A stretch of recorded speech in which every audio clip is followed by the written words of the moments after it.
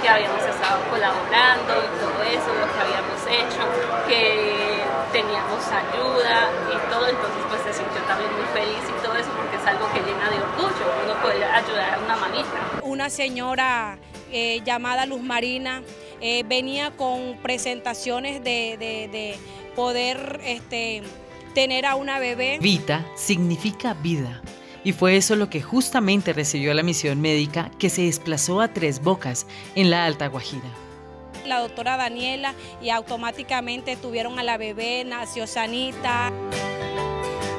Nosotros llegamos a esta comunidad, nos teníamos que quedar acá, nos pusimos a arreglar todo, colgar los chinchorros, hicimos la cena, nos acostamos a dormir tipo 9 de la noche. Como a las 12 en punto, yo escucho que llama la doctora, la doctora, un parto.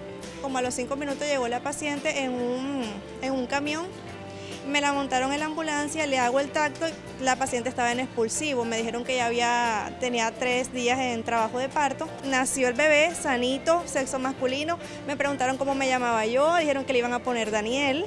Como el nacimiento de Daniel, en honor a Daniela, la médico que atendió el parto, hubo cientos de historias en la comunidad indígena Guayú, que gracias al esfuerzo conjunto que realizó la Fuerza de Tarea Bravo de los Estados Unidos y las fuerzas militares de Colombia para el exitoso cumplimiento del ejercicio Vita, con unidades como el Comando Conjunto Caribe número 1, el Comando Aéreo de Combate número 3, la Fuerza Naval del Caribe, Comunicaciones Estratégicas del Comando General de las Fuerzas Militares y por el Ejército Nacional, la Primera El Comando de Apoyo de Acción Integral, la Dirección de Comunicaciones Estratégicas, la División de Asalto Aéreo del Ejército Nacional, Batallón de Aviación de Operaciones Especiales y el Batallón de Comunicaciones número 1.